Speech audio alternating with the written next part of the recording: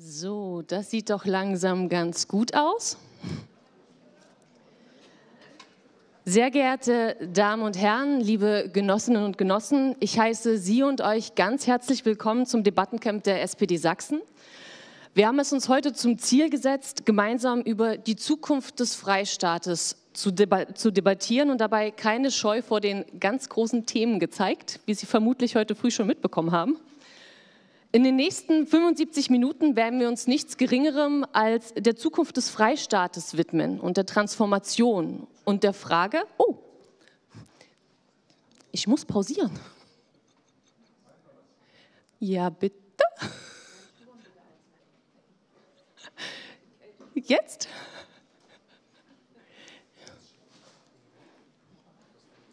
Wenn Sie glücklich sind, bin ich glücklich. Ich denke schon. Okay. Nochmal.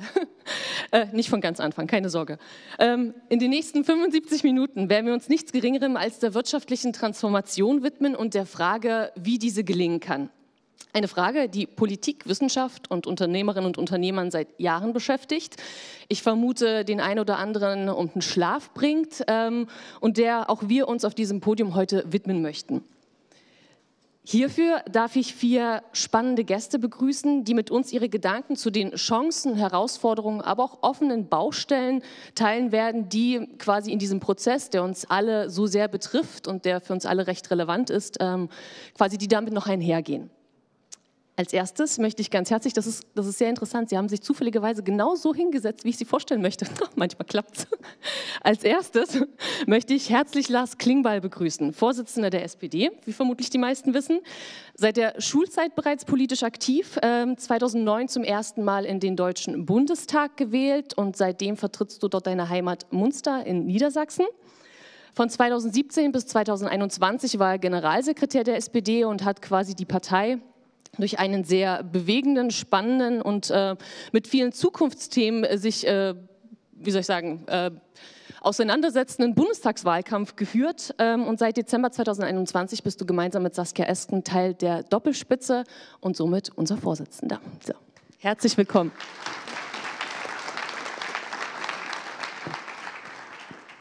Als nächstes möchte ich gerne Katrin Michel begrüßen. Auch Sie haben sie heute früh schon erlebt. Ähm, ich mache trotzdem eine ganz kurze Vorstellung. Denn man sucht sich ja immer so ein paar Schlagworte, um eine Person näher zu bringen. Das sind so die, die ich mir rausgesucht habe. Gebürtige Lausitzerin, wie wir wissen, äh, die der Lauf des Lebens von der Niederlausitz in die Oberlausitz geführt hat.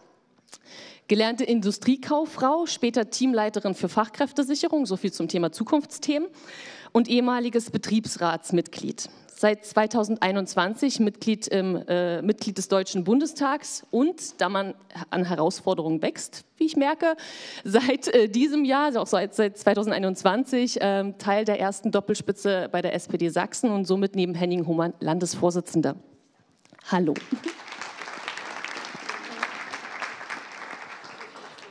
Während die Betriebszeit von Katrin Michel derzeit vorbei ist, äh, kann hiervon bei unserem nächsten Gast definitiv nicht die Rede sein. Jens Köhler ist Betriebsratsvorsitzender bei BMW Leipzig und das seit 2002. Seitdem hat sich einiges getan. Die Zahl der Beschäftigten ist von 45 auf rund 5500 feste Mitarbeiterinnen und Mitarbeiter und 1500 Leiharbeiterinnen und Leiharbeiter angestiegen.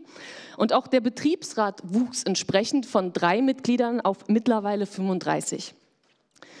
Die Automobilindustrie ist dabei ein sehr griffiges äh, Beispiel für Transformation. So sollte die Fabrik in Leipzig 2010 zum ersten Standort für die Großserienfertigung von emissionsfreien Elektroautos in Deutschland ausgebaut werden. 2012 entstehen auf dem Werksgelände Windkraftanlagen zur direkten Stromversorgung vor Ort und werden 2013 in Betrieb genommen. Doch welche Auswirkungen hat Transformation eigentlich auf die Beschäftigten und wie können diese Prozesse mitgestalten? Dazu später mehr. Erst einmal herzlich willkommen.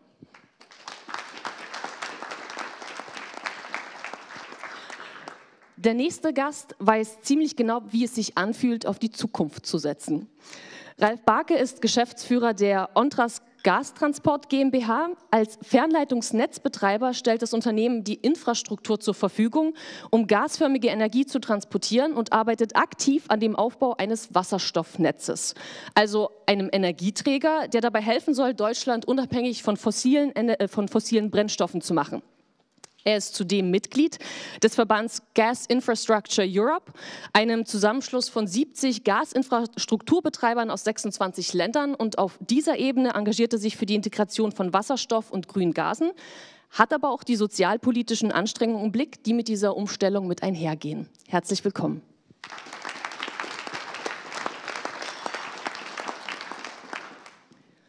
Lieber Lars, in einer Transformation werden Dinge grundlegend, also strukturell verändert. Ein zentrales Beispiel hierfür ist die Industrialisierung mit der Entdeckung fossiler Energiequellen wie der Kohle. Damit änderte sich grundlegend, wie wir Dinge herstellen, wo und wie Menschen arbeiten. Lieber Lars, was meinen wir denn heute, wenn wir von Transformation sprechen? Vor welchem grundlegenden Wandel stehen wir und was sind so die Herausforderungen und Chancen?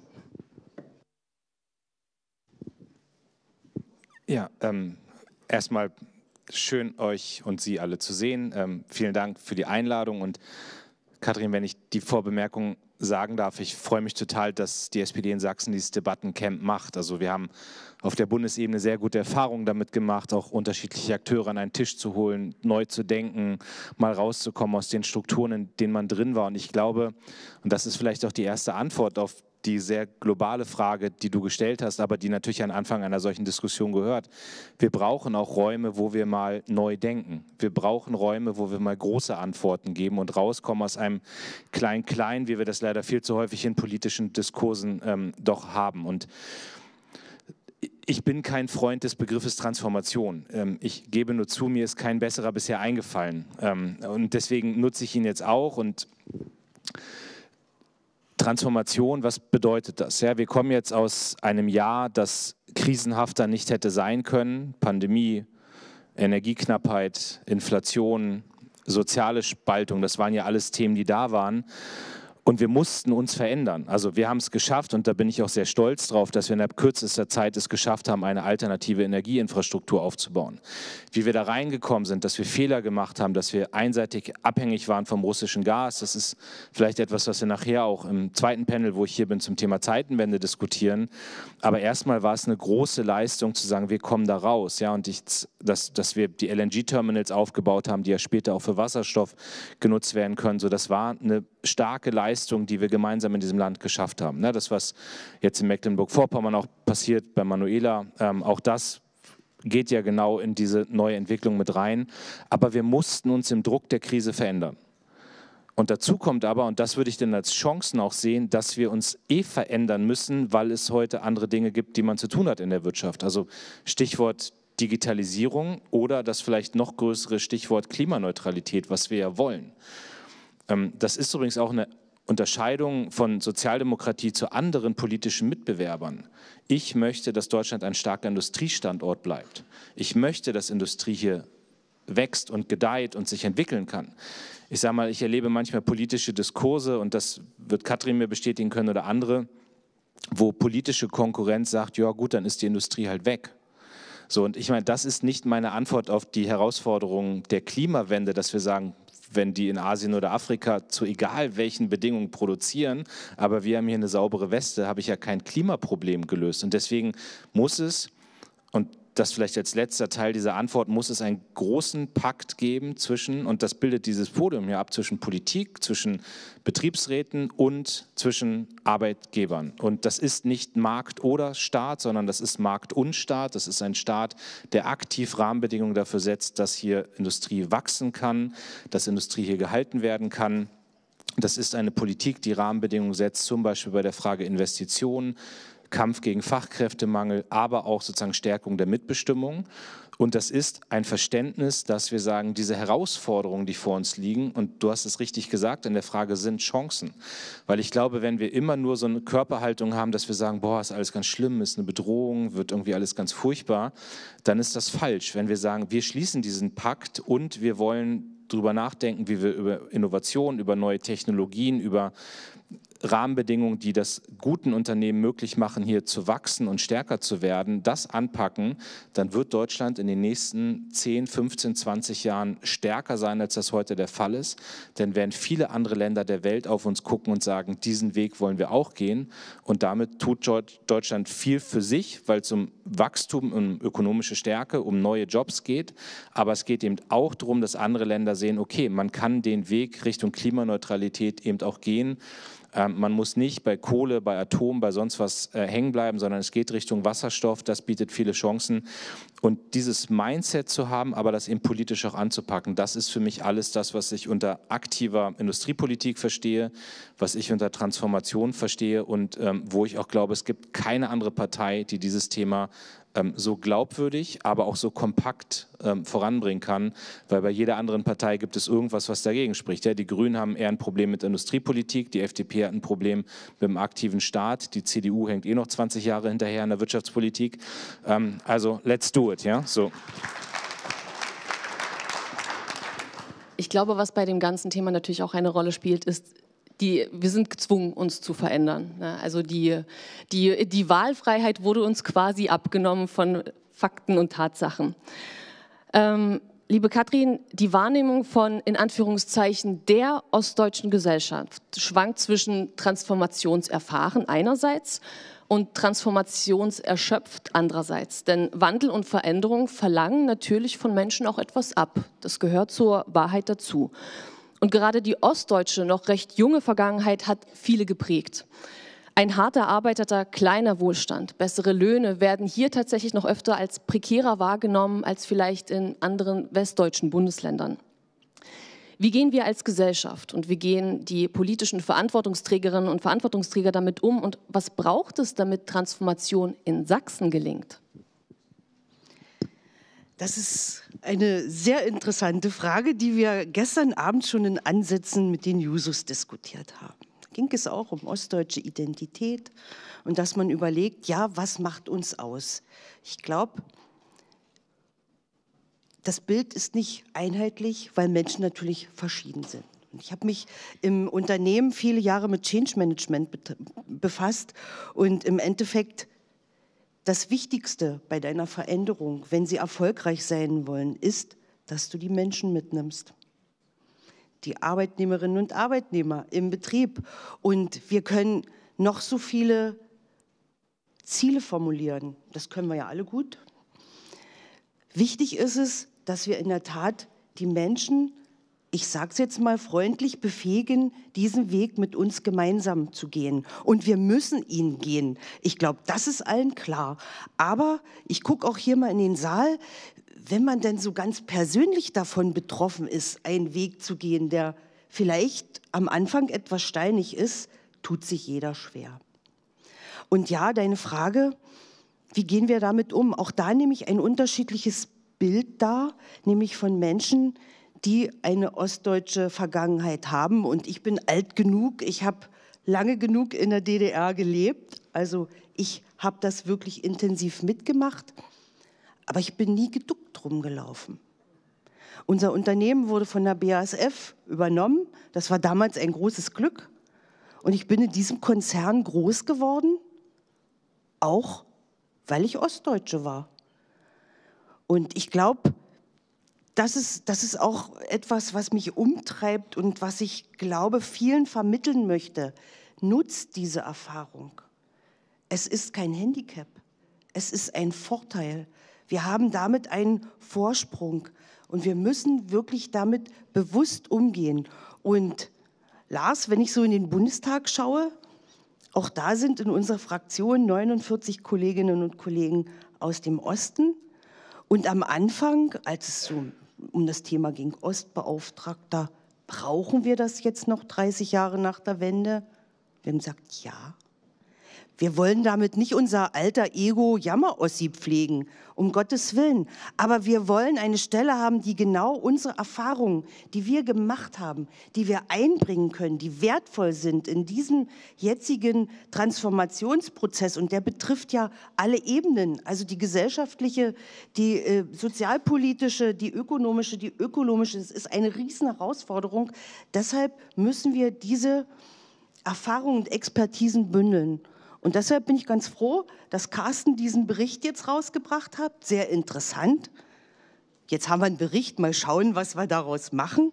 Aber es ist auch immer etwas, was wichtig ist, ich sag mal, aufs Tapet zu legen. Dass man sagt, man beschäftigt sich mit den Dingen und überlegt, wie können wir damit umgehen. Und wie gesagt, wir müssen es schaffen, dass unsere Expertise mit unserer Transformationserfahrung als Vorteil, als Vorsprung Ost gesehen wird. Herr Barke, Ihr Unternehmen setzt auf eine Zukunftstechnologie und hat den Anspruch, die Transformation in der Energieversorgung aktiv mitzugestalten. Nun haben wir quasi von, sagen wir mal, ostdeutschen Besonderheiten in den Biografien, in, vielleicht auch in der Selbstwahrnehmung gerade gesprochen. Sehen Sie aus Unternehmersicht ähm, weitere spezifische ostdeutsche Rahmenbedingungen, die den Prozess der Transformation aus Ihrer Perspektive erschweren oder erleichtern?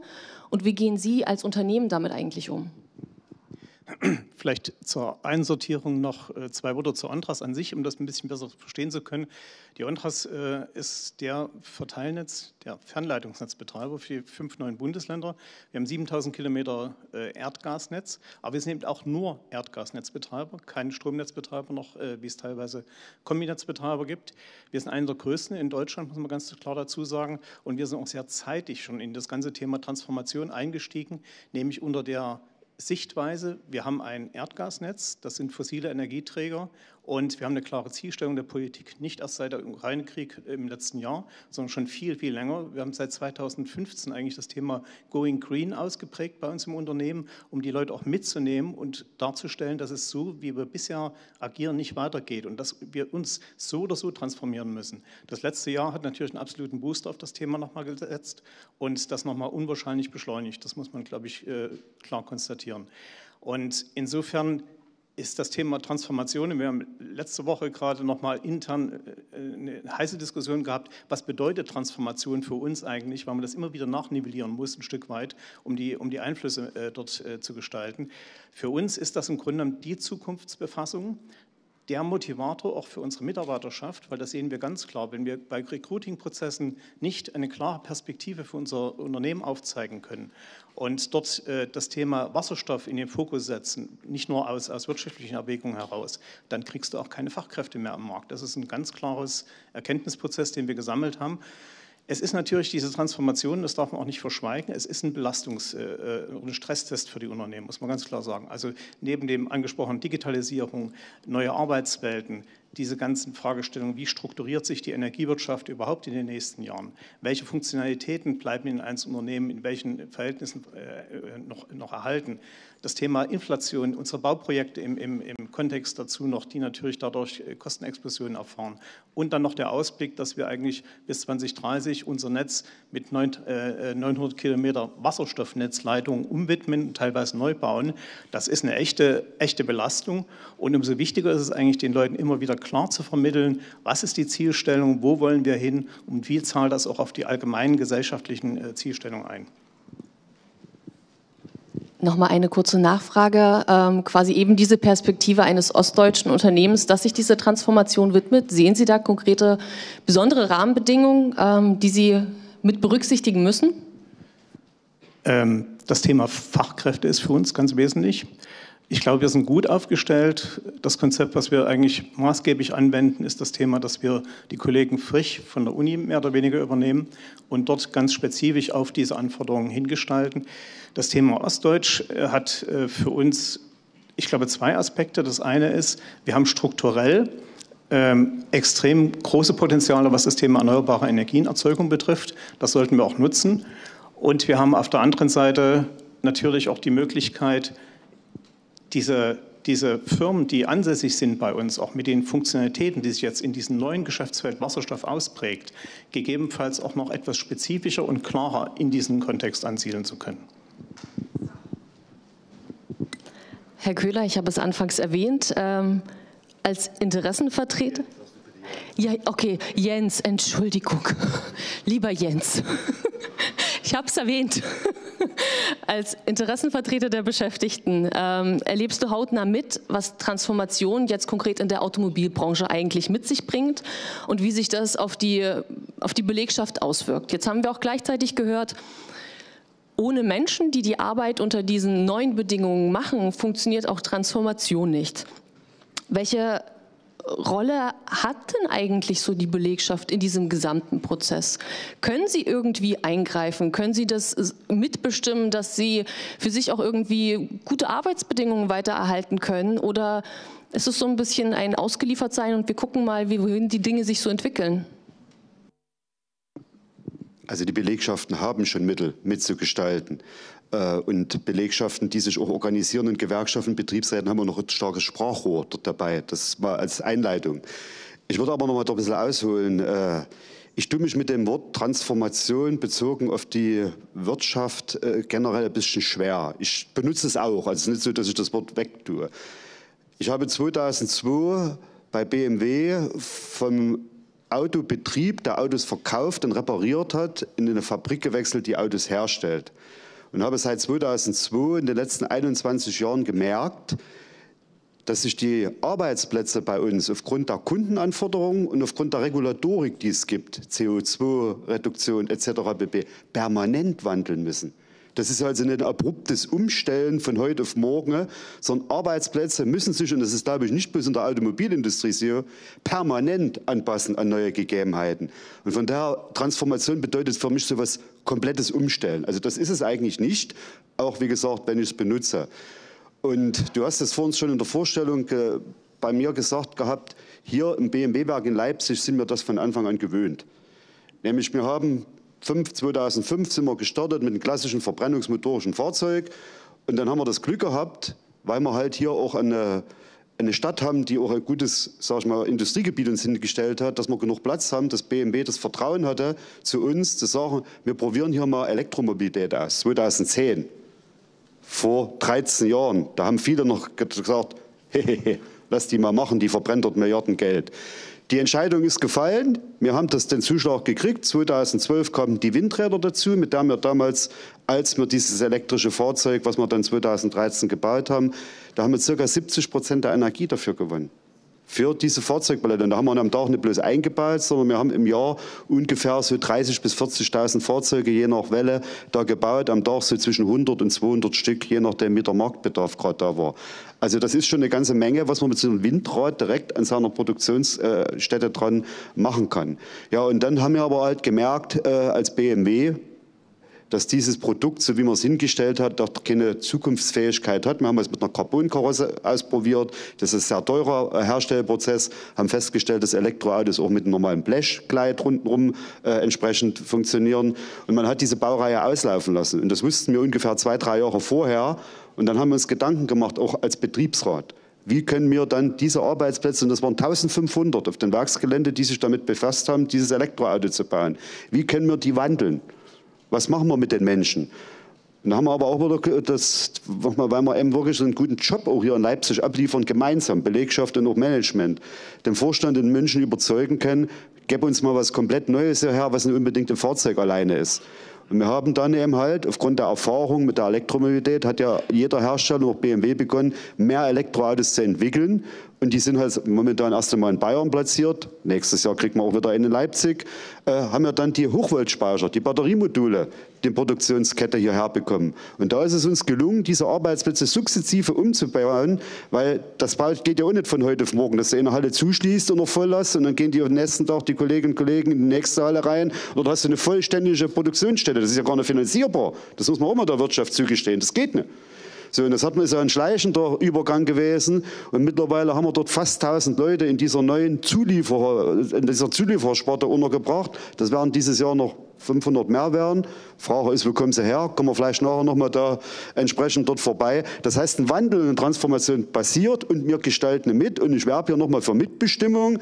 Wer in seinem Betrieb sich einen Betriebsrat wählt, wer sich die Gewerkschaft ins Boot holt, Tarifverträge hat, der hat auch bei Wettbewerbsvoraussetzungen für das Thema Sicherheit und Zukunft seiner Arbeitsplätze.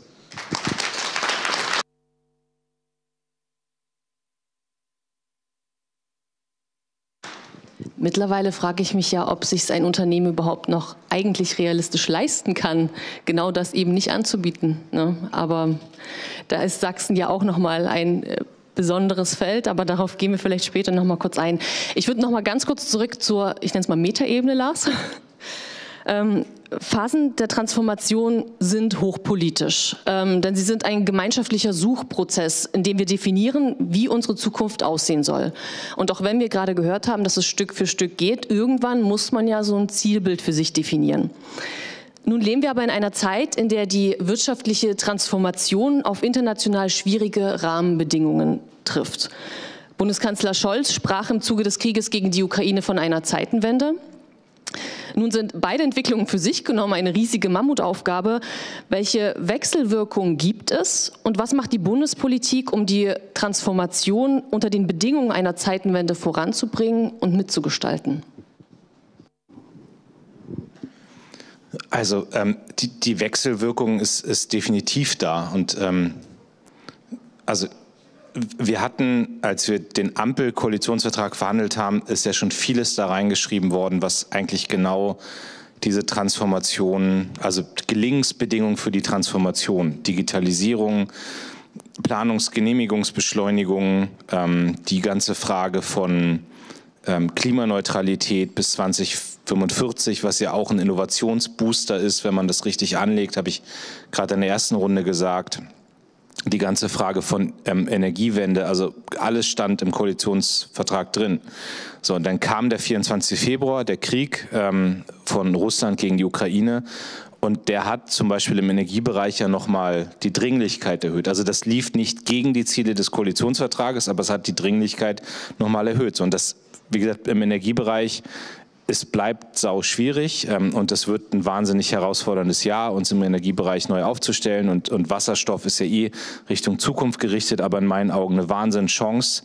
Aber auch das wird nicht funktionieren, wenn der Staat sich daraus hält und den Unternehmen viel Glück wünscht, äh, sondern es geht nur, wenn der Staat aktiv auch Rahmenbedingungen dafür setzt, dass Wasserstoff ähm, hier in Deutschland ähm, wachsen kann und dass die Infrastruktur dafür wächst und dass die Forschung gestärkt wird und so weiter und so fort. Also insofern gibt es diese Wechselbedingungen und es gibt sie auch an anderen Stellen. Also ich meine, China ist rausgekommen aus so einer Haltung, die sie über Jahrzehnte hatten. Also ich habe viel China-Politik gemacht, ja, und China ist ja immer so sehr demütig aufgetreten und wir wollen nur Regionalmacht sein und so weiter und so fort. Aber wenn man sich anguckt, wie China sich mittlerweile positioniert, wie aggressiv auch deren ökonomische Strategien sind, so dann ist das eine Herausforderung für Deutschland und Europa. Unsere amerikanischen Freunde, ja, wo wir uns sehr freuen, dass die in, in Fragen von Krieg und Frieden und Ukraine sehr eng an unserer Seite stehen.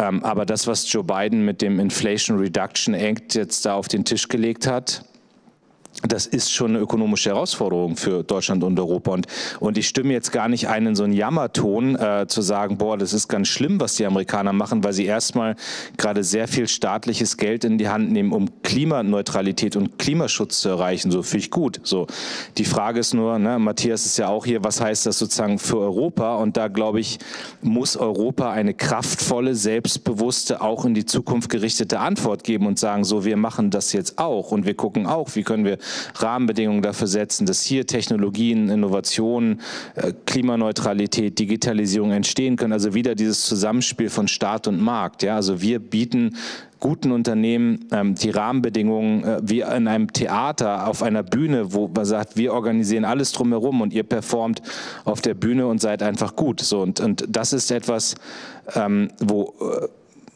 sagen, die Wechselwirkungen weltpolitisch da sind. So, und dann mein letzter Punkt, weil ich weiß eben auch, und das ist gerade angesprochen worden, merkt das ja auch, dass einfach auch Wahnsinn, also wie ist die Gesellschaft eigentlich drauf nach drei Jahren Krise? Ja, so, und wo ich ja auch, und geht übrigens auch vielen in der Politik so, dass man sagt, boah, zwei Jahre Pandemie, Krieg, Inflation, irgendwie merkt man so ein bisschen, geht schon die Puste aus. Also ich weiß nicht, wie was euch war, aber bei mir tat der Jahreswechsel und zwei, drei Tage frei auch mal ganz gut, um auch mal durchzuatmen und zu überlegen, was ist da eigentlich alles so passiert. Ähm, und jetzt kommt dann irgendwie noch die Politik und sagt, ja, und jetzt müsst ihr euch noch transformieren. So, und das führt ja erstmal zu Abwehrreflexen. Ja? Also deswegen geht doch auch, gehen die Populisten auf der rechten Seite doch gerade rein und suggerieren, alles kann so bleiben, wie es ist. Ich befürchte nur, wenn wir nicht und ich bin wieder bei diesem Pakt und dem Bündnis mit Betriebsräten, mit Unternehmensführung und Leitung und mit den Beschäftigten und mit der Politik, wenn wir da nicht klar sagen, wir müssen das jetzt machen, weil es tut sich was in China. Es tut sich was mit dieser Elon Musk, äh, äh, sagen Silicon Valley Cowboy-Mentalität.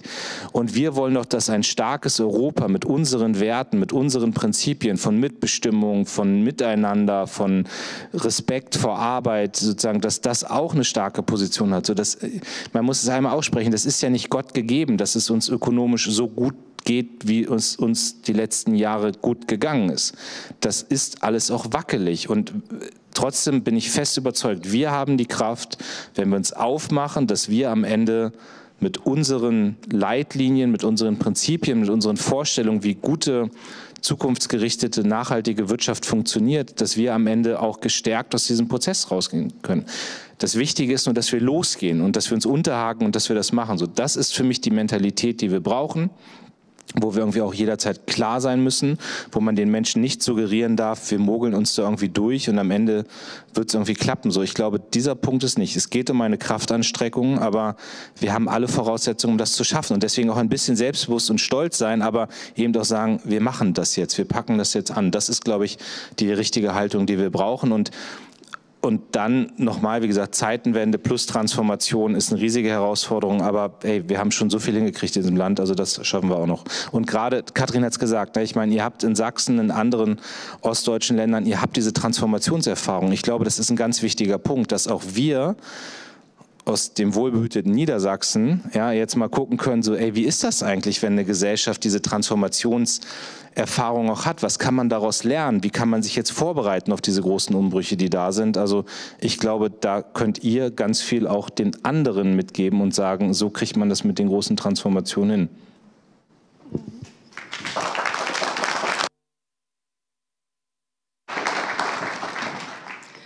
Was gerade eben ja deutlich wurde, ist, ist, dass das ganze Thema Energieversorgung halt ein zentraler Knackpunkt ist, wenn wir sagen, Deutschland soll weiterhin ein Industriestandort auch bleiben. Ähm, Herr Barke, Bundeskanzler Scholz hat gesagt, wir müssen beim Umbau unserer Energieversorgung ins Machen kommen, statt immer mehr wünschen. Gleichzeitig erleben wir nach wie vor, dass beim Ausbau der erneuerbaren Energien gebremst wird und wir halt, wie gerade geschildert, diese zusätzlichen Folgen der Zeitenwende verkraften müssen. Wie ist der Stand des Umbaus unserer Energieversorgung so aus Ihrer Perspektive, die Sie ja auch versuchen, ein neues Netz aufzubauen? Wo müssen wir schneller werden? Ähm, welche Investitionen braucht es? Das ist ja auch wieder ein entscheidender Punkt. Wir lassen Unternehmen nicht allein, sondern wir als Politik unterstützen. Wie ist Ihre Einschätzung da? Ja. Das Thema Wasserstoff ist, glaube ich, für uns das Top-Thema. Und die, mit der Befassung mit den äh, Kunden, die natürlich vielfältig jetzt auch die Infrastruktur nachfragen, die Mengen nachfragen, die ihre eigenen Unternehmen transformieren müssen, die wir in der Region massenhaft haben, muss man sagen. Und nicht nur die Stahlwerke und die Chemiewerke, sondern mittlerweile auch kleinere mittelständische Unternehmen, die genau diese Zielstellung verfolgen, merkt man ganz klar, dass das Thema Wasserstoffinfrastruktur ist ein strukturpolitisches Thema. Das heißt also, wenn wir äh, diese Leitung äh, nicht in absehbarer Zeit in die Regionen bekommen, wo wir auch Ansiedlungen haben wollen oder wo sich entsprechende Nachfragethemen konzentriert, dann wird es ein extremer Strukturnachteil sein. Und umso wichtiger ist es eigentlich für uns auch, dass wir versuchen, das flächendeckende Erdgasnetz natürlich mit Prioritäten versehen, in ein Wasserstoffnetz zu transformieren und natürlich dann auch die Wasserstoffmengen ranzukriegen. Mengentechnisch hängen wir ein ganzes Stück hinterher. Das ist aber bedingt auch durch den Ausbau der Erneuerbaren. Wir sind uns aber auch bewusst, dass wir im Endeffekt äh, die Erzeugung von Wasserstoff, von grünem Wasserstoff nicht inländig äh, äh, stemmen werden, sondern werden große Mengen importieren müssen. Umso wichtiger ist, dass wir von Anfang an eigentlich so ein gutes Overlay, so ein Backbone-Netz hinstellen, wie wir momentan eigentlich auch gerade sehr, sehr gut im Ansatz unterwegs sind mit diesen IPSAI-Projekten, die von entsprechenden Länderförderungen leben, die wir von Sachsen auch gerade jetzt zugestanden bekommen haben, die von Bundesförderungen leben. Wo es klemmt, ist die EU, die Notifizierungsverfahren zum aktuellen Zeitpunkt noch. Aber das ist so ein Thema, wo man sagt, ja, das ist eine super Keimzelle, das kann auch ein richtiger Booster werden. Aber momentan sehe ich das eher so, dass wir gerade so in so einen Wattebausch reinfallen und äh, das nicht weiter nach vorne geht. Das zweite Thema ist natürlich das ganze Thema Rahmenbedingungen. Äh, ja, wir warten wieder mal auf die EU, das dritte äh, Gasbinnenmarktpaket, was oder beziehungsweise das nächste Gasmarktpaket, was ansteht, was sich auch wieder nach hinten verschiebt, weil wesentliche Eckpfeiler natürlich aus diesem Thema herauskommen. Aber auch da ist die Frage, können wir nicht einfach mal auch mal einen nationalen Alleingang nach vorne gehen und dann vielleicht im Nachgang nachnivellieren, einfach um, um, um diese, diesen, diesen Speed, den wir durchaus haben in, in der Wirtschaft und der an vielen Stellen sichtbar ist, um den nicht bremsen zu können. Wir haben natürlich das Thema Genehmigungsverfahren, das ist so gerade gerade in der Befassung, äh, wie wir es jetzt gerade in diesen konkreten Projekten sehen, die wir äh, vorantreiben, das ist, ja, da, da, wird ein, da wird ein schwindlig, muss man echt sagen. Wenn man diese Zeiträume wieder sieht, wir haben auf der anderen Seite, Sie hatten es gerade gesagt, das Thema LNG-Beschleunigungsgesetz. Äh, ja, das geht, das kann man auch mal machen, das kann man auch zu diesem speziellen Zweck sehr gut nutzen, hat auch super funktioniert. Aber die Leute in den Behörden, fragen Sie wie die gearbeitet haben, um das sicherzustellen. Das ist kein Dauerlauf, das kannst du dir nicht aufdoktrieren. Da fehlen auch einfach die Ressourcen, um diese Genehmigungsprozesse sauber abbilden zu können. Also auch da muss dringend nachjustiert werden. Und ein ganz wesentlicher Fakt, wo ich auch als, als Leipziger für, für unser Unternehmen und den Standort auch werben möchte, ist dieser Ansatz, der sich auch in letzter Woche in, der, in den Handelsblattartikeln äh, manifestiert hat, der Ansatz der Fragestellung, wie wirkt der Staat in die Infrastrukturgesellschaften zukünftig mit hinein und was ergibt sich daraus? Man muss äh, gerade bei diesen Fernleitungsnetzbetreibern, die wir in Deutschland haben, wissen, wir haben ein extrem starkes Know-how im Transport von äh, gasförmigen Energieträgern. Das ist eigentlich eine natürliche Synergie, wo man sagen kann, die sollten wir auch nutzen, um sie entsprechend auch später weiter zu äh, verwenden, weil nur so gewinnen wir den zeitlichen Vorsprung, den wir brauchen und auch nach meiner Ansicht eine volkswirtschaftliche Effizienz, die dahinter steht. Also insofern bitte vorsichtig mit der Zentralisierung solcher Effekte, weil ich hatte es vorhin schon gesagt, wenn wir im eigenen Unternehmen diese Wasserstoffthematik nicht als äh, die Zielstellung nach vorne treiben können, ist ganz schnell Schluss mit Fachkräften und, und der Motivation des, des, Unternehmens. Also da bitte vorsichtig sein und auch diese Nivellierung, die wir teilweise sehen. Wir haben es teilweise im Energiesektor staatlich geführte Unternehmungen aus verschiedenen Erwägungen heraus und weiterhin privatwirtschaftliche. Das muss man irgendwie alles versuchen, äh, mit äh, in diesen Regelsetzungsprozess sauber zu verbauen, weil sonst kommen wir in Ungleichgewicht rein und dann führt es eben auch dazu, dass einzelne Regionen gegebenenfalls zurückfallen oder entsprechend nach vorne gestoßen werden.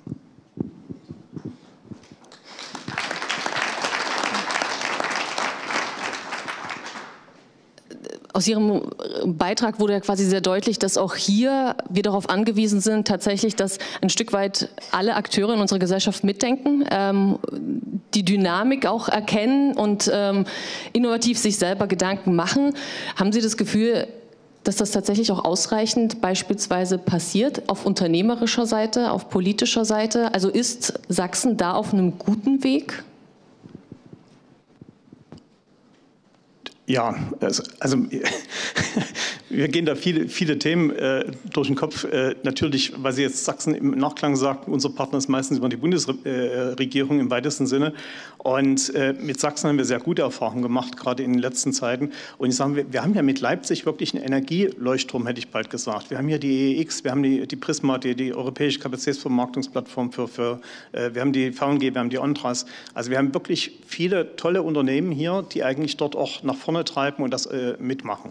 Äh, ich glaube, was ich mir manchmal wünschen würde, ist noch ein stärkerer, stärkerer Dialog mit der Wirtschaft, wenn es um diese Regelsetzungsthemen geht. Da wird mir noch an vielen Stellen zu viel im Kleinen gemacht. Und dann kommt dann so ein Entwurf raus oder auch irgend so Leak und dann geht das wilde Diskutieren los. Kann man das nicht mit einem konstruktiven Diskussionsprozess im Vorfeld versuchen, ein bisschen einzufangen? Das wäre so meine Bitte in die Richtung. Ich würde zum Jens rübergehen. Ich lerne. ähm, die Automobilindustrie an sich ist im Wandel. Du hast gerade äh, oder vorhin ganz gut geschildert, dass äh, BMW Leipzig quasi gefühlt permanent und das schon seit über einem Jahrzehnt sich Stück für Stück wandelt. Ähm, wir haben von Herrn Barke gehört ähm, beim Thema Fachkräfte, dass da auch direkt an die Universitäten gegangen wird, um Leute quasi gleich äh, für sich anzuwerben und dann eben so fit zu machen, dass sie auch sich gut in diesem Unternehmen entwickeln können. Nun haben wir aber auch Beschäftigte, die sind halt eben nicht frisch von der Uni, die kommen nicht frisch aus der Ausbildung, sondern sie arbeiten halt schon ein paar Jahrzehnte. Und sie machen halt das, was sie tun. Sie haben sich spezialisiert, sie sind fit in dem, im Bereich, in dem sie tätig sind. Und nun entwickeln sich Dinge das heißt, Unternehmen sind letztlich darauf angewiesen, dass auch diese Stammbelegschaft, nenne ich mal, auch quasi mitwächst, sich mitentwickelt. Muss Deutschland zu einer Weiter Weiterbildungsrepublik werden, wie Bundesarbeitsminister Heil sagte? Und falls ja, was sagen eigentlich die Beschäftigten dazu? Also ich wollte jetzt einfach mit Ja antworten. Ja, genau. Aber du hast ja nochmal nachgelegt. Also gut. Nein, das ist schon absolut richtig. Also so wie ich den Wandel vor uns beschrieben habe, bei mir im, Betrieb, muss natürlich auch, müssen auch die Mitarbeiterinnen und Mitarbeiter äh, qualifiziert werden.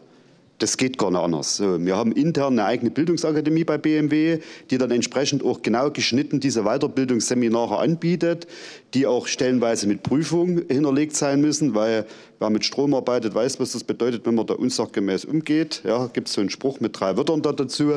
Äh, das passiert. Das müssen die Unternehmen auch machen. Wenn man von Arbeitskräfte, Fachkräftemangel redet, muss man erstmal an seine eigene Belegschaft denken, dass die bei ihnen bleibt. Und da muss man die auch entsprechend weiter qualifizieren, dass die weiter motiviert ist, auch im Betrieb zu bleiben. Darf ich geklatscht dir? ja, weil ich habe das meinen, meinen Personalleitern, die wechseln ja bei mir auch alle drei Jahre, immer wieder gesagt gehabt, die Zeit wird kommen, dass aus einem Arbeitgebermarkt äh, ein Arbeitnehmermarkt bei dem Thema Arbeitskräfte kommen wird. Und er ist schneller gekommen, als man dachte. So, und äh, jetzt kommen genau die, ich könnte jetzt immer sagen Age, aber das macht man ja nicht, wenn man mitgestalten will, sondern es ist genau das gefragt, dass man halt wirklich jeden, der im Betrieb ist, auch eine Weiterbildung anbietet. Und da geht's, wir haben auch Ungelernte bei uns beschäftigt, weil äh, einfache Montierarbeiten sind Anlerntätigkeiten, das kriegt man hin. Wir haben äh, äh Flüchtlinge integriert aus den Jahren 2015, 2016.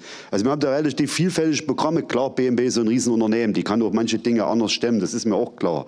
Gehört aber bei uns haben halt auch zur Kultur seit vielen Jahrzehnten, ne, geprägt auch aus den westdeutschen Betrieben, da dazu, dass man halt sich auch für alles offen erhält und äh, eine offene Kultur im Betrieb pflegt und jeder herzlich willkommen ist. Übrigens auch Frauen, haben wir vorhin auch schon mal im Vorgespräch diskutiert, dass wir eine relativ hohe Frauenquote haben, die auch in der Produktion arbeitet. Ja, also wie gesagt, Weiterbildung gehört dazu. Und ich darf aber vielleicht noch einmal einen, einen, einen kleinen Abweicher zu deiner Frage machen, weil das betrifft ihn mit. Für mich gibt es zwei, zwei, zwei Stellschrauben, um die, diese Wende in den, für die Zukunft hinzubringen. Das ist einmal das Fachkräfte, Arbeitskräfte für mich, dass das äh, gelöst wird hier bei uns. Und meiner Meinung nach geht es nur mit einer gezielten Zuwanderung. Da bin ich ganz ehrlich. Das geht mittelfristig nur so. Und das Zweite ist die Energiepolitik. Wenn es uns nicht gelingt, Energien herzustellen und hier anzubieten in den Land, dass die Betriebe hier bleiben, wandern die weg. Dann haben wir auch kein Arbeitskräfteproblem mehr, weil dann wandern die auch weg. Also das ist ganz großer Fakt. Und das Thema Wasserstoff, er hat es gesagt, das geht so lange schon, das hat jetzt nichts mit Pandemie und mit Krieg zu tun und Erdgasmangel, sondern das betreiben wir bei BMW in Leipzig. Da gerne mal jemand, kann gerne mal zu mir kommen, seit 2015. Unsere ganzen internen Fahrzeuge, die wir haben, das sind solche Routenschlepper oder Gabelstapler, die wir fahren, die in den Hallen unterwegs sind, sind sukzessive auf Wasserstoffantrieb umgerüstet worden. Wir haben knapp 100 solche Fahrzeuge jetzt im Betrieb, die danken im Betrieb selber Wasserstoff, mittlerweile sogar autonom. Die fahren da alleine ran, das ist alles machbar. Wir haben im letzten Jahr äh, einen Brenner für eine Trockenkabine für die Karosserien. Ja, Autos werden lackiert und noch mit anderen Stoffen versehen. Die müssen schnell getrocknet werden, damit halt auch der Produktionsprozess bezahlbar bleibt. Da brauchen wir viel Wärme. Bisher mit Erdgas gemacht. Wir haben voriges Jahr das erste Mal so einen Brenner auf Wasserstoff umgebaut einen. Wir haben aber 60 bei uns im Betrieb und wer die ganzen Automobilwerke in Deutschland kennt, weiß, dass also nicht bloß eine Stahl- und eine Gießereiindustrie den Wasserstoff braucht, sondern auch dort überall, wo viel Wärme eingesetzt wird. Wir würden sofort umbauen, die restlichen Brenner. Wenn wir wüssten, dass der Wasserstoff nicht mit dem LKW kommt, sondern dass wir endlich die Leitung hierher kriegen. Henning Hullmann hat es vor uns gesagt gehabt im Beispiel in der Anmoderation, dass er von den Stahlwerken Meißen dort vom Geschäftsführer gehört hat, er würde gerne den Wasserstoff aus, die Leitung aus Leipzig hergelegt bekommen. Nee, die liegt ja noch nicht mal in Leipzig.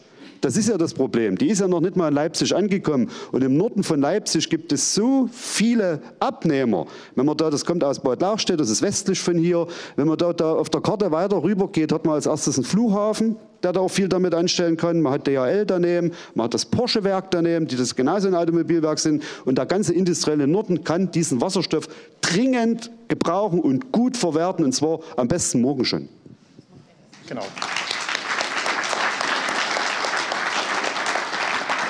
Entschuldigung. Ja. Und das sichert Arbeitsplätze. Genau. Und, und wir sind schon dran, muss man ganz klar sagen, weil diese Leitung, die, die Sie erwähnten, nämlich die auch runter bis zu den Stallwerken geht, die ist im Grunde schon in der Bearbeitung schon. Aber das ist dieses bewusste EBSI-Projekt, wo wir eben gerade jetzt feststecken in den ganzen Genehmigungs- und, und äh, Zustimmungsprozessen. Bevor ich äh, eine Frage an Katrin nochmal richte, vielleicht eine kleine Vorankündigung ans Publikum. Sie haben auch noch die Gelegenheit, Fragen zu stellen. Ich gebe Ihnen einfach noch ein paar Minuten, um sich zu sammeln, sich ein paar Gedanken zu machen. Und wenn es dann quasi soweit ist, dann kann die Hand hoch.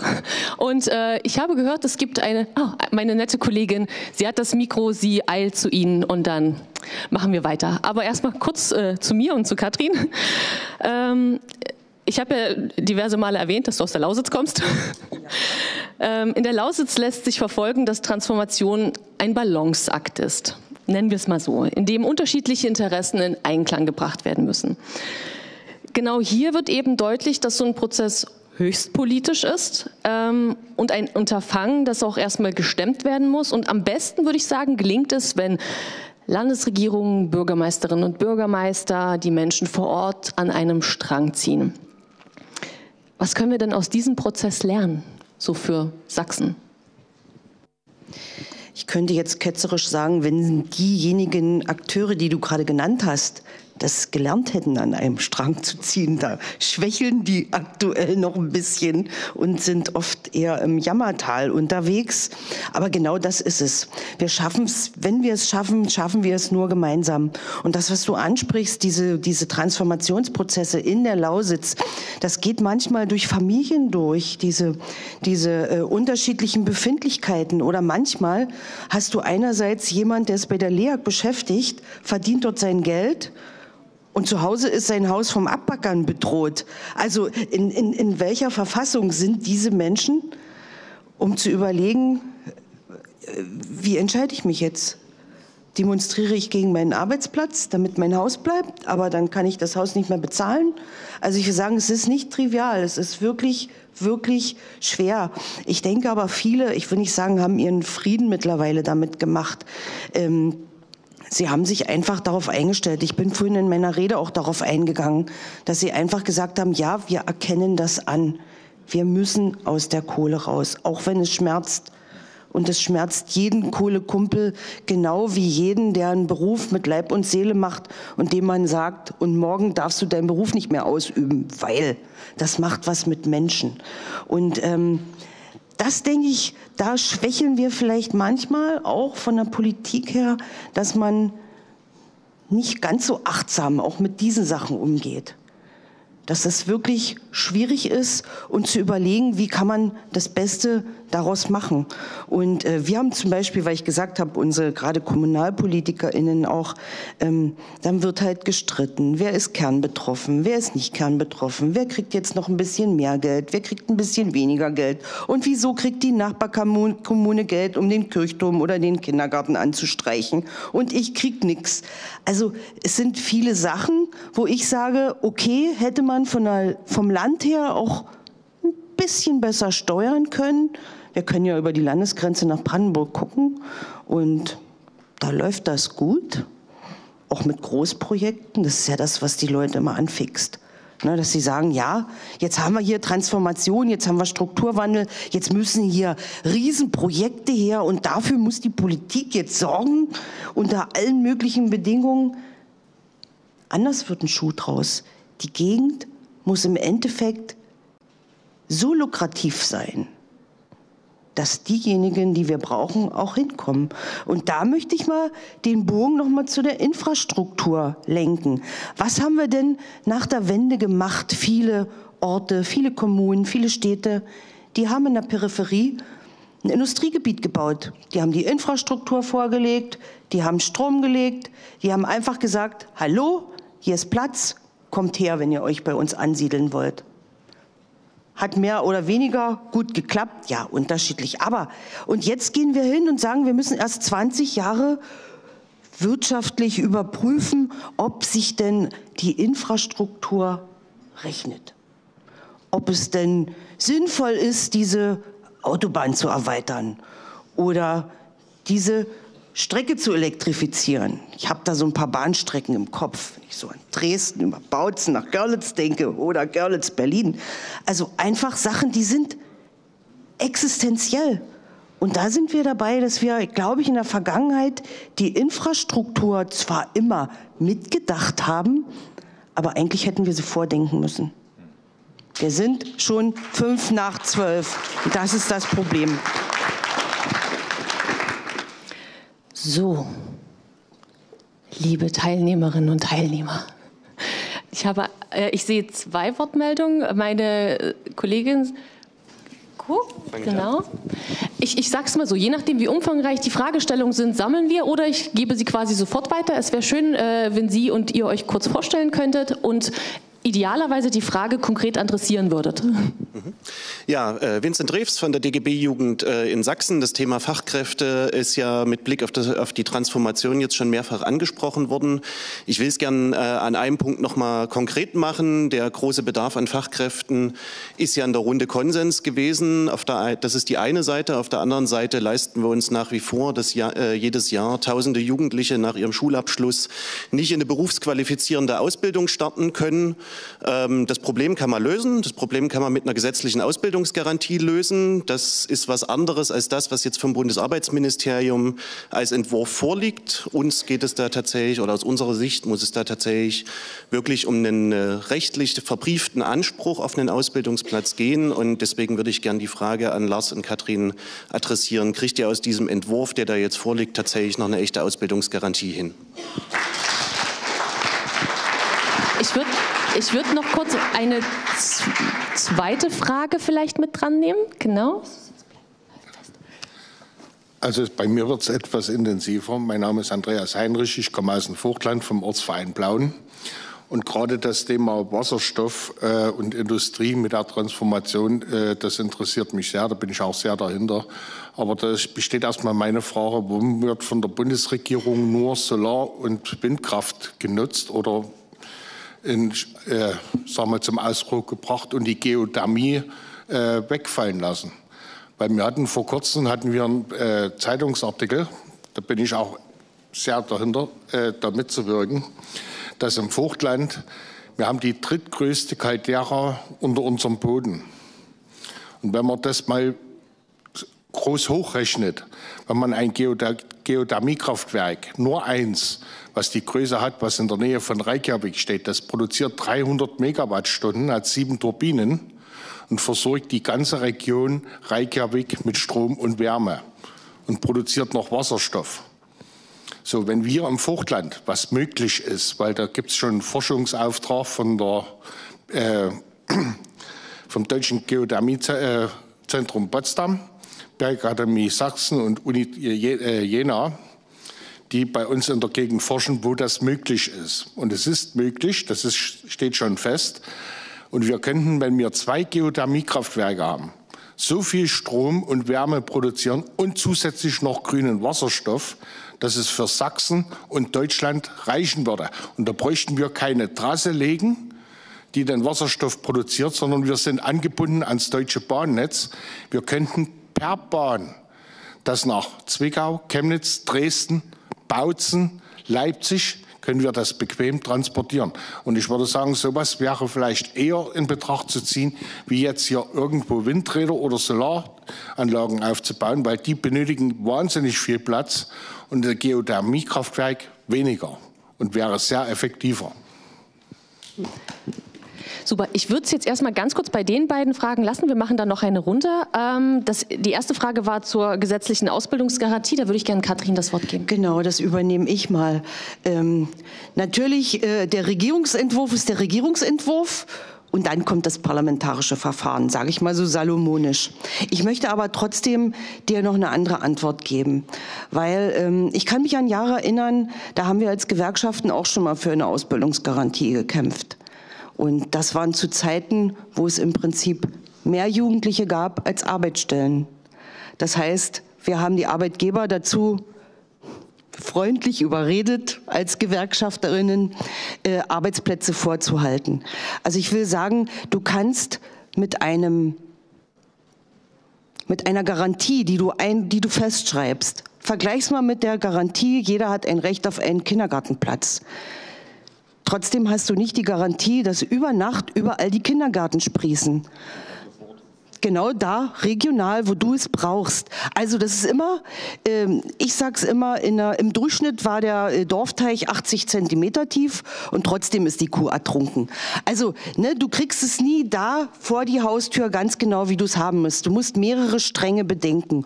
Und ich will auch sagen, wir haben viele Unternehmen, die tun das schon lange. Ich glaube, bei euch ist es genauso. Ich kann aus meiner Zeit bei BASF auch äh, berichten, dass wenn du eben Mitbestimmung und Betriebsräte im Werk hast, die achten auch, dass Ausbildung funktioniert. Und ähm, dann hatten wir auch Zeiten, die werden ja jetzt nicht besser, dass die Jugendlichen nicht so gut ausgebildet die Schule verlassen. Da kann man jetzt jahrzehntelang drüber lamentieren und die Jugendlichen sind heute anders. Da muss die Ideen entwickeln. Wir haben einfach ein nulltes Ausbildungsjahr gemacht. Das heißt, wir haben die genommen, die zwar Lust hatten, aber doch nicht so gut in der Schule für ein ersten Ausbildungsberuf, die haben wir ein Jahr sozusagen befleißigt. Und da haben wir rundherum den Zirkel gezogen und haben die kleinen und mittelständischen mit reingenommen und haben gesagt, ihr könnt die auch zum Praktikum haben. Und da haben wir ganz viele vermitteln können, wo die Unternehmen am Anfang gesagt hätten, ich hätte mich anhand des Zeugnisses für den nicht entschieden. Den hätte ich aussortiert, ich hätte es mir nicht getraut. Aber der war ein Praktikum hier. Der ist ja großartig. Und das mit dem Rechnen kriegen wir auch noch hin. Also ich sagen, du musst ganz viele Facetten und viele Säulen denken. Eine Garantie gehört dazu, aber die wird nicht das Allheilmittel sein. Darf ich da ergänzen? Äh, auch als äh, Praktiker, du warst das ja auch mal in einem Betrieb. Das richtig, so Einstiegsqualifizierungssache macht BMW auch, um eben halt welchen den, den Sprung zur Ausbildung zu ergeben. Der Anspruch, äh, jeden Ausbildungsplatz zu garantieren, das ist ja schon erstmal Gutes zu tun. Ich glaube aber, dass das mit einer einen Regulatorik, wie du auch schon gesagt hast, Katrin, nicht funktioniert.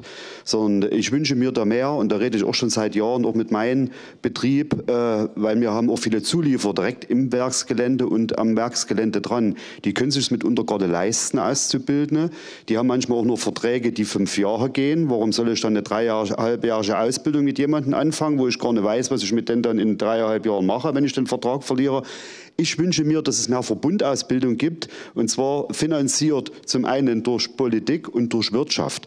Da glaube ich, da ist nochmal ein Hebel zu setzen, weil man dann auch schneller reagieren kann auf Wandel der Arbeitsplätze und dann auch schneller, sage ich jetzt mal, das anpassen kann. Und da kann man durchaus Praxiseinsätze in Betrieben machen. Das muss also nicht immer nur ausgelöst von Wirtschaftsunternehmen sein, sondern es muss für mich ein Mix sein.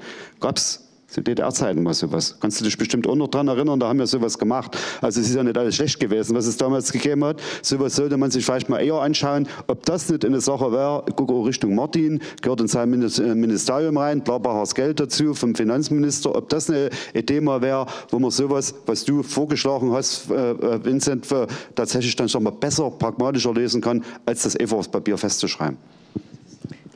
Ein, einen letzten Beitrag noch von Katrin, dann würde ich zur zweiten Frage, die gestellt wurde, übergehen. Genau, eine kleine Ergänzung noch, weil bevor die Ausbildung losgeht, steht die Bildungsorientierung. Und ich glaube, das ist auch ein großes, weites Feld, wo wir, wo wir extrem Probleme haben, weil eben viele entweder keine Ausbildung beginnen oder eben dann abbrechen, weil es nicht die richtige Ausbildung ist, etc. pp. Und ähm, da müssen wir es wirklich ähm, schaffen. Und ähm, da gilt es auch, Gesetze umzusetzen, nämlich dass man genau verfolgen kann, wenn jemand die Schule verlässt, wo verlässt er die hin? Geht er zum Studium? Beginnt er eine Ausbildung? Bleibt er unversorgt? Und dass das bei den Jobcentern bei den Agenturen sozusagen landet, damit die sich ganz gezielt um die unversorgten Jugendlichen kümmern können. Und noch ein letztes Wort. Natürlich, ich komme aus dem ländlichen Gebiet. Das ist gar nicht so einfach. Wenn du überlegst, jetzt möchte ich gerne Bäcker werden und die Schule, ich wohne jetzt in Kamenz und die Schule ist vielleicht in Zittau und äh, das Praktikum ist in Klein Puschwitz und äh, ja, und ich bin 16 Jahre alt und ÖPNV äh, schwierig. Also auch auch die Probleme hast du. Ne? Es ist ein Konglomerat aus vielen Sachen, aber es ist so wichtig und deshalb gilt unser aller gemeinsame Anstrengung, dass wir jeden Jugendlichen finden und keinen unversorgt lassen. Da lautet das Fazit also wie so oft, das ist kompliziert.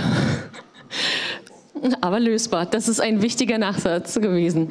Äh, die zweite Frage widmete sich dem ganzen Thema fehlender Fokus auf Geothermie, zu viel Fokus auf Solar- und Windkraft. Frage, Lars? Äh, genau, nur drei Sätze gerade noch zu dem anderen Thema, weil es, es ist nicht kompliziert. Ähm, wir müssen nur darauf achten, dass wir alles tun. Also wir haben vorhin schon das Thema Fachkräftezuwanderung anklingen lassen.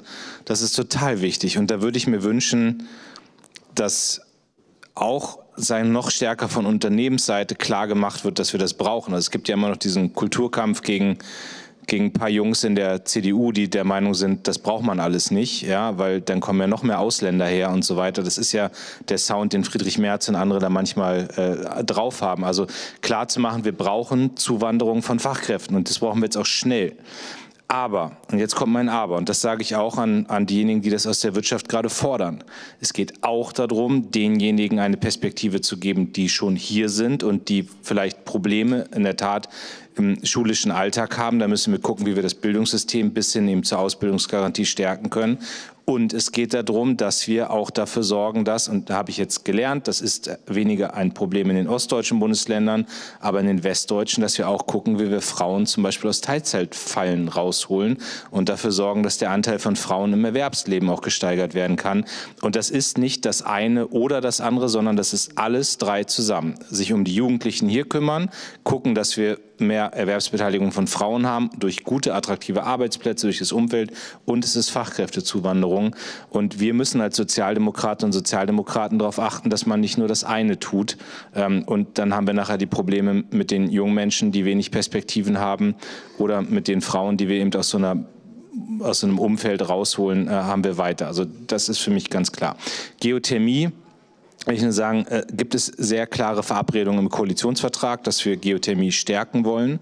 Robert Habeck hat jetzt auch das Eckpunktepapier vorgelegt als zuständiger Minister sage ich auch mal, ich hätte mir gewünscht, dass es schneller geht, aber das ist, sage ich jetzt auch wirklich sehr respektvoll, das ist keine Kritik an Robert Habeck und sein Ministerium, weil was die da geleistet haben im ersten Jahr, das ist brutal gewesen, was die alles im energiepolitischen Bereich machen mussten.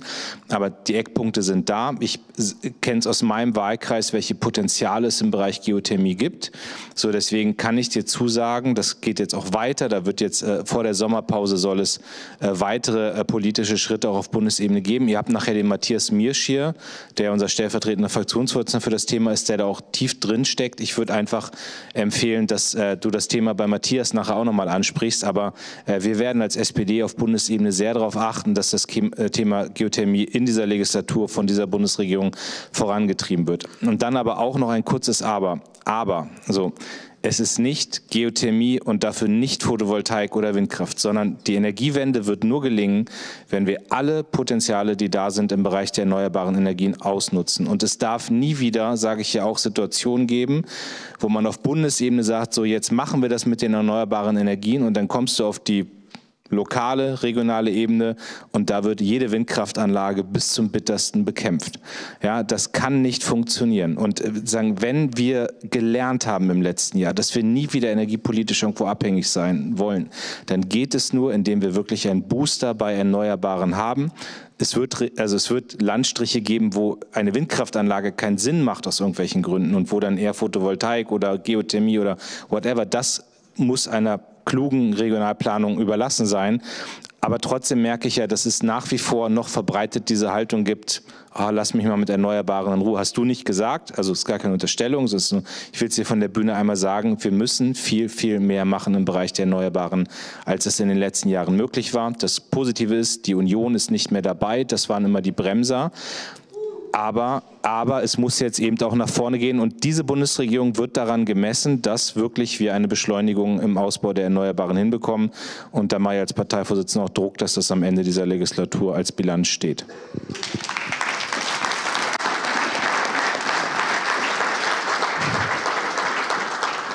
Ich würde noch einmal eine letzte Möglichkeit geben. Matthias Ecke hier vorne meldet sich schon recht lange und dann, ich, ich würde dann die Auswahl dir überlassen.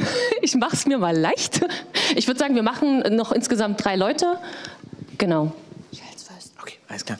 Ja, Matthias Ecke, hallo, ähm, Europaabgeordneter für Sachsen, ähm, auch jetzt im Industrieausschuss. Deswegen sind mir die Themen, die Sie alle hier äh, angesprochen haben, sehr bekannt. Ähm, das Gasmarkt-Package äh, beschäftigt uns sehr. Wir sind auf der Zielgeraden, ich kann es Ihnen versprechen, ähm, ist aber eine, eine, komplexe Regulierung und ich weiß natürlich auch als sächsische Abgeordnete, was das für uns hier bedeutet.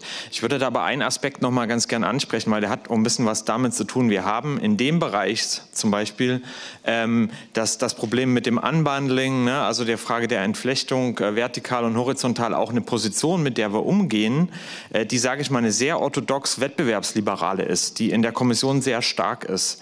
Äh, wo man dann auch sozusagen die Perspektiven für die Unternehmen, auch langfristig äh, profitable Investitionen zu machen, sehr dadurch in Frage stellt, dass man einen extrem harten Fokus auf den Wettbewerb legt. Und das haben wir auch an anderer Stelle. Das IPSAI wurde erwähnt, das dauert extrem lang, weil die Kommission zu wenig Kapazitäten hat, die Notifizierung durchzuführen, was aber auch daran liegt, dass es extrem komplex ist. Es ist unglaublich anspruchsvoll ähm, und all das wird getan, weil das Prinzip, dass der Binnenmarkt vollkommen störungsfrei funktioniert ähm, und möglichst keine staatlichen äh, Beihilfen kommen, wird immer noch heilig gehalten von vielen in Brüssel. Das ist äh, neoliberale Orthodoxie an vielen Stellen und langsam kommen wir da einen Schritt voran. Wir haben jetzt die Debatte über, ähm, über neuen grünen industriellen Deal. Ähm, das, das, ist Ihnen, das ist euch allen bekannt. Ähm, da geht es auch darum, solche Beihilfefragen zu erleichtern. Aber, und den Ball muss ich dann jetzt nochmal zurückgeben, auch nach Berlin, äh, wir werden dafür einen Preis zahlen müssen als Deutschland, als größtes Industrieland, weil wir sind das Land, das am ehesten in der Lage ist, mit nationalen Ressourcen solche Beihilfen auch zu geben. Und wenn sie gestattet werden, werden die anderen Partnerländer von uns erwarten, dass wir sie irgendwie kompensieren. Wir reden über einen europäischen Souveränitätsfonds, wir reden über äh, die Regionalpolitik, um, um mehr Kohäsion zu schaffen. Äh, wir reden über neue europäische Eigenmittel. Wir werden ähm, als Deutschland uns da auch bewegen müssen im Rat, die Bundesregierung, aber natürlich ein großer, äh, großer Appell auch an die äh, Kanzlerpartei, äh, dass wir da mit unseren europäischen Freunden gemeinsam einen Weg finden, weil es gibt viele in Brüssel, die wollen nicht, dass wir mehr Industriepolitik in Europa machen, weil die denken, das ist eine Politik nur für die Deutschen. Und viele, die, ich, ich spitze es mal zu, sagen, äh, dann lass uns lieber alle gleich deindustrialisiert sein in Europa, dann sind wir wenigstens gleich. Ne? Und das kann nicht unsere Politik sein. Vielen Dank, Matthias Ecke. Sie haben Glück, das war eher ein Statement aus europapolitischer Perspektive. Deswegen, ich würde trotzdem noch drei Fragen mit dran nehmen. Genau. Ja, guten Tag, ich bin Astrid Riechmann, eine von zwei äh, Abgeordneten Stadträtinnen der Stadt Bautzen. Und ich möchte was zum Stadt-Land-Gefälle fragen. Ähm, der Landkreis Bautzen hat zu 97 Prozent Unternehmen mit weniger als zehn Beschäftigten. Viele von den, Beschäftig äh, von den Unternehmen haben Gabelstapler, die würden möglicherweise auch auf Wasserstoff umgerüstet werden. Ich weiß, dass Südbrandenburg sich entschieden hat, ganz viele Wasserstofftankstellen und ein Netz aufzubauen. Äh, Sachsen macht das nicht. Für mich ist die Frage an den Herrn Barker, ist irgendwas geplant, dass auch ein Netz an Wasserstoff in die Lausitz kommt? Und ich meine damit Sachsen, in die sächsische Lausitz. Weil das ist wichtig, dass die Unternehmen, die so klein sind, sich auch ökologisch beteiligen können. Genau, ich würde noch zwei Fragen ähm, sammeln. Ähm, ja, hallo, ähm, Daniel Siegel. Also ich würde bisschen auf das Thema mit eingehen, was die Kollegin da aus Bautzen sagte. Vielleicht bloß mal ganz kurz. Wir hatten ja jetzt das Thema hier äh, Berufsorientierung. Warum nicht einfach mal anfangen, im Gymnasium auch die, die, die Dual-Berufsausbildung verpflichtend mit anzubieten? Also wenn man mit den äh, Direktoren vom Gymnasium spricht, das ist immer nur dieser akademische Weg, sondern wirklich verpflichtend, geht in die duale Berufsausbildung, studieren könnt ihr immer noch. Das vielleicht nochmal so als Punkt. Und dann wurde ganz oft das Thema ähm, Ausbildungsplatzgarantie besprochen. Also ich darf in meinem beruflichen Kontext Kontext, Martin, du weißt es, 4200 äh, Tankwerksbetriebe im Landkreis Görlitz vertreten. Und wir, dort ist es halt so, je nach Branche geht in den nächsten zehn Jahren ein Drittel bis sogar die Hälfte in Rente. Also die Frage ist, wir können jetzt hier Ausbildungsgarantien aussprechen, wenn es die Betriebe aber nicht mehr gibt. Und da will ich dann vielleicht auch noch mal drauf bringen, wir haben das äh, neben den Verbundausbildungen, das EQJ, das EQ Plus, das Walicom. Das muss mehr in die Fläche kriegen, ähm, mehr in die Fläche kommen, um sozusagen auch Leuten dort was zu ermöglichen. Das als Frage, wie kann man diese duale Berufsausbildung in Gymnasien und anderen Möglichkeiten stärken. Dann war noch das Thema, ähm, wir reden hier immer vom Strukturwandel, Strukturwandel. Ich saß ähm, gestern bei der Stadt Görlitz unter anderem für das Deutsche Raumfahrtzentrum, was ja kommen soll. Eine schöne Geschichte. Die Betriebe sagen aber, das, was ihr dort vorhabt, können wir Stand heute nicht stemmen. Weder wirtschaftlich noch personell noch von den Ressourcen. Und erschwerend kommt halt hinzu, die brauchen mindestens 1000 Menschen, die dort arbeiten. Das heißt, wir nehmen uns die wenigen Leute, die jetzt in der Region sind, noch mal weg. Wäre es denn nicht sinnvoller, ähm, bei dem ganzen Strukturwandelthema die Betriebe, die da sind, die kleinen und mittelständischen und Bautzen und Görlitz nimmt sich da nicht viel mit zehn Mitarbeitern pro Betrieb zu ertüchtigen. Also denen wirklich die Chance zu geben, zu qualifizieren, auszubilden, sich auszubauen, weil die, wie du schon sagtest, äh, bei BMW, dieser Strukturwandel ist schon all die Jahre. Der Handwerksbetrieb, der kleine Schweißer, die Bäckerei, Fachverkäufer und so, die sind immer, immer wieder im Wandeln, das all die Jahre schon. Und wenn die Glocke von oben kommt mit einem Raumfahrtzentrum, was ehrlich gesagt in den Städten, du wirst selber wissen, Kathrin, schwierig angesehen wird, weil es, wie gesagt, Arbeitsplätze und Ressourcen bindet, die aktuell nie da sind. Und noch eine letzte, knappe, kurz formulierte Frage. Das ist eine Herausforderung. Ja, lieber Lars, mein Name ist Johannes Giamat. Ich bin der Vorsitzende der AG Selbstaktiv aus Mittelsachsen. Und ich finde es richtig, dass du angesprochen hast, die Menschen, die auch hier sind, muss man mitnehmen, vor allem auch berücksichtigen. Da möchte ich mal eine Personengruppe oder Menschengruppe ansprechen, die hinten runterfällt, schon längere Zeit. Menschen mit Behinderungen. Äh, wir erleben, dass ja die Arbeitslosigkeit bei Langzeitarbeitslosen, dass bei Schwerbehinderten die äh, ungünstiger verläuft als bei dem Rest obwohl sie besser qualifiziert sind. Und hier müsste man wirklich ansetzen, dass man auch dieses Potenzial abschöpft, dass man auch wirklich in die Richtung gehen, wie jetzt in dem Gesetz über äh, den inklusiven Arbeitsmarkt, wie äh, bei dem Budget für Ausbildung, dass man eben das lebenslange Lernen wirklich daran bringt und wie gesprochen worden ist, bei denjenigen, die eben nicht die Voraussetzungen durch die Schule mitbringen, dass man es zwischenschaltet. Das muss man eben weiter öffnen, muss man wirklich so betreiben und muss die Unternehmen auch in die Richtung bringen, dass es für die lohnt, beziehungsweise dass es eine zwingende äh, Situation für sie schafft, dass sie auf das zugreifen. Denn wenn wir immer hören vom Arbeitskräftemangel und man lässt äh, eine ganz große Gruppe einfach links liegen und vor allen Dingen, das hat auch eine volkswirtschaftliche Komponente, weil durch die ganze Sache mit Corona, die Post-Covid-Fälle, die alle nicht mehr dieses Leistungsvolumen abrufen können, was sie vor ihrer Erkrankung abgerufen haben. Auch die muss man in der Richtung sichern auf dem Arbeitsmarkt halten. Und da muss man wirklich dann ein bisschen mehr tun. Deshalb müssen diese Projekte, die wir im Bund vorantreiben, auch wirklich in den Ländern, insbesondere mit sozialdemokratischer Regierungsbeteiligung, umgesetzt werden, dass man wirklich dann auch Erfolge erzielt. Vielen Dank. Ich sortiere nochmal. Die allererste Frage ging an Herrn Barke ähm, zum ganzen Thema Wasserstoffnetz äh, in die Lausitz rein. Ja, ich kann, ich kann das kurz machen. Das Thema Lausitz sowie Brandenburg als auch sächsische Seite ist bei uns in der Betrachtung schon drin. Äh, allein getrieben durch die, die LEAG mit ihren großen Kraftwerken, die natürlich auch entsprechende Ideen hat, wie man das Ganze zukünftig gestalten will. Wie schnell wir dann in die Fläche kommen, müssen wir uns dann im Detail nochmal angucken. Aber das ist, die Lausitz ist definitiv auch ein äh, Betrachtungsschwerpunkt unsererseits. Vielen Dank. Äh, mit Blick auf die Uhr, ähm, ich würde einfach mal die Frage zum Thema duale Berufsausbildung mehr an Gymnasien werben. Ich würde die gerne mal an Jens stellen. ähm, äh, wie ist so eure Erfahrung? Ähm Ver verstanden, passt, passt, passt. Und äh, glaubt mir, ich kann da auch noch mitreden. Ich habe eine Tochter, die geht in der 8. Klasse auf dem Gymnasium hier um der Ecke. Also bin auch da jetzt noch mit vom Praxis da Beispiel damit äh, eng verbunden. Ne? Äh, wir von BMW haben uns äh, vor Jahren, ganz am Anfang, als der Lehrlingsmarkt überquoll, das ist ja vor uns angesprochen worden und es weniger Plätze gab, auch fast nur auf die Abiturienten gestürzt, haben wir dann nur festgestellt, dass es auch keine, allein nur, dass es sich auf diese Zielgruppe zu, zu begeben, weil, es wurde vorhin so angesprochen, äh, die gehen irgendwann mal auch noch mal zum Studium. So, wir wollten die ja gerne bei uns in der Fabrik behalten. Dann hat es einen Wandel gegeben, da hat man es komplett ausgeblendet, dann haben wir gesagt, wir nehmen überhaupt keine Abiturienten mehr, wir nehmen nur noch welche, die äh, von der 10. Klasse kommen. Äh, jetzt stellen wir aber fest, das ist auch falsch. Seit zwei Jahren machen wir einen Mix dort dabei. Äh, und das halte ich auch für richtig, dass man da das auch äh, entsprechend gemixt auch anbietet. Und Kathrin, du hast vorhin auch gesagt, ihr tut auch was, ja. Wir haben auch die Ausbildungszahlen erhöht, aber auch nur, weil der Belegschaftsvertretung das permanent gefordert hat. Das Management hätte es nicht getan von alleine. Weil, wie gesagt, die sind nur drei Jahre hier und dann sind die drei Jahre woanders. Die können gar nicht mehr Früchte ernten, ne, die sie eigentlich hier ausgesät haben. Ja, als der Bildungsempfehlung in den Schulen bin ich völlig bei euch bin ich völlig bei euch. Das, was in den Schulen passiert, ist einfach zu wenig. Ich glaube aber auch, das hat was damit zu tun, dass wir zu wenig Lehrer haben und Lehrerinnen haben. Das hat auch was damit zu tun, dass dort meiner Meinung nach zu wenig Weiterqualifizierung stattfindet auf die Gegebenheiten, die sich in der Gesellschaft entwickeln. Ich bin dafür, das zu tun. Über die Kontakte, die wir als Betriebsräte haben, nämlich, dass wir meistens Kinder auch haben, die in solchen Schulen sind, holen wir uns die Klassen dann hierher. Aber das ist, das ist, das ist Frickelkram, nennt mein Kollege aus Dingolfing das immer.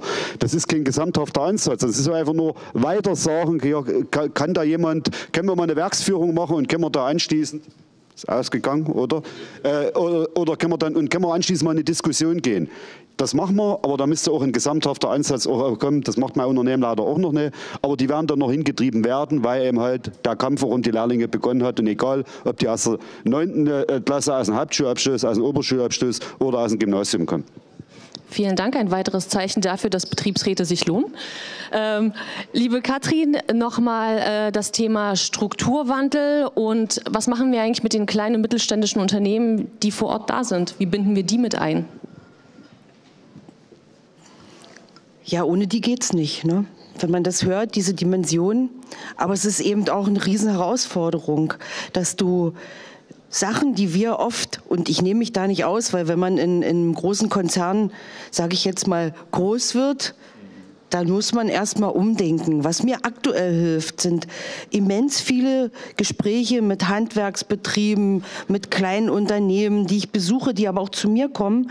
Ähm, sicherlich ausgelöst durch die Energiekrise, weil da waren wirklich die, die ähm, Befürchtungen natürlich extrem hoch, aber das hilft mir. Und das sind natürlich Sachen, die ich als Politikerin dann mitnehmen kann und sage, wieso äh, agiert hier vermeintlich eine Partei, die sich ja immer für Handwerker eingesetzt hat, nämlich die FDP, manchmal vollkommen irre. Weil ich sage, das passt gar nicht. Ne? Also ich, ich glaube auch, dass für uns da noch sehr viel Potenzial drin steckt. Uns nämlich so reinzudenken, dass wir diese kleinen und mittelständischen Betriebe eben auch sozial mitnehmen können mit allen Befindlichkeiten, die sie haben. Und die haben eben keine eigene Ausbildungsabteilung. Die haben manchmal nicht mal ähm, die Expertise, Leute zu rekrutieren. Sie haben Angst, sie, jemand an sich zu binden und denken, dann wäre ich den nicht mehr los. Also ganz andere Herausforderungen. Und sie haben natürlich auch ganz selten einen Betriebsrat, weil sie sagen, bei zehn Leuten braucht man den nicht. Hm kann man sehen, wie man will.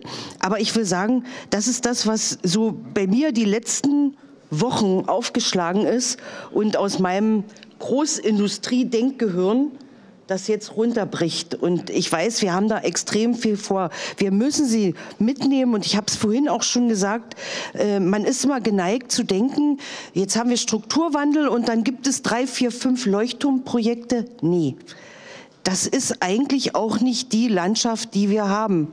Und so wie Bautzen und Görlitz als Landkreise aufgestellt sind. Und äh, deshalb, also es ist noch viel zu tun. Wenn ich jetzt wirklich die komplette Lösung hätte, wäre ich, glaube ich, gut gebucht.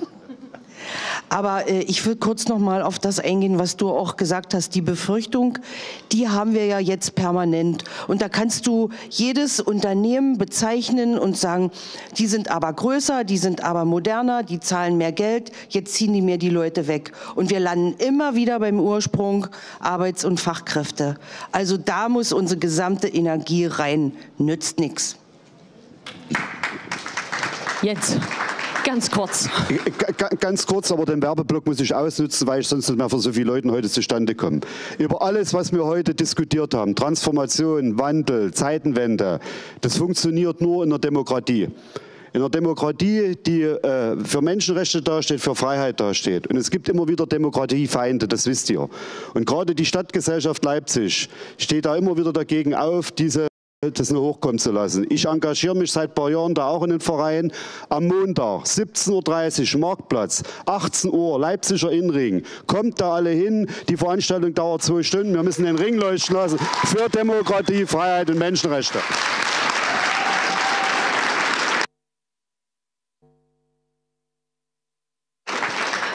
Das war ein wichtiger Nachsatz. Ähm, lieber Lars, du hast quasi auch das Schlusswort. Wenig Zeit für ein tatsächlich ziemlich wichtiges Thema. Und zwar, Wie sorgen wir dafür, dass die Schwächsten in unserer Gesellschaft in diesem ganzen Transformationsprozess quasi nicht unter die Räder kommen? Ist jetzt schwierig, weil Jens eigentlich ein perfektes Schlusswort gerade gesprochen hat. Aber trotzdem, Jonas, war das richtig? Johannes, ähm, du hast einen ganz wichtigen Punkt angesprochen ähm, und das, äh, das will ich ja auch noch dreimal unterstreichen. Ähm, wir haben eine Situation, in der wir uns das volkswirtschaftlich gar nicht erlauben können, irgendwen zurückzulassen. Ganz wichtiger Punkt. So, ich habe das vorhin am Beispiel der Frauen ausgedrückt, aber du hast recht, wir müssen die Gruppe, die selbst aktiv vertritt, auch mit in den Fokus nehmen, Menschen mit Einschränkungen, mit Handicap, mit Behinderungen. Ähm, da hat sich eine Mentalität eingeschlichen in den letzten Jahren, dass man gesagt hat, brauchen wir nicht in der Wirtschaft. Und ich glaube auch damit ist vorbei. So, der, der Kai Finke, der ja auch äh, euch im Parteivorstand vertritt, ähm, ist jemand, der das auch immer wieder aktiv anspricht. Ähm, aber ich sage dir zu, ich nehme das auch jetzt für die Gespräche mit Hubertus, der ja gerade genau in der Frage, wie stellen wir den Arbeitsmarkt auf, der da ja wirklich auch viel macht, der dahinterher ist. Ähm, ich werde den Punkt mit ihm nochmal besprechen weil ich in der Tat auch glaube, gerade ist so eine Umbruchphase, wo es sich total lohnt, auch diese Frage, wie können wir Menschen mit Behinderung stärker an den Arbeitsmarkt einbinden, welche Schritte muss man da gehen, also dass man jetzt genau das auch nochmal bedenkt. Äh, wir haben, meine ich sogar, aber ich bin jetzt nicht 100 Prozent trittfest, auch im Koalitionsvertrag da ein paar Gedanken zu drin äh, und es bietet sich eigentlich an, das genau jetzt umzusetzen. Also vielen Dank für den Hinweis, aber du hast komplett recht und das zeigt übrigens auch, dafür sind solche Debattencamps ja genau da, dass man noch Positionen weiterentwickelt und da hast du einen wertvollen Hinweis gegeben. Vielen Dank.